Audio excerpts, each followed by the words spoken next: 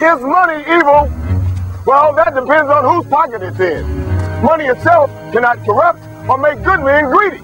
Weakness of character does those things. Money can feed the starving, liberate the imprisoned, and strengthen the weak. Money can buy you dance lessons. No, money isn't evil. Love of money is evil.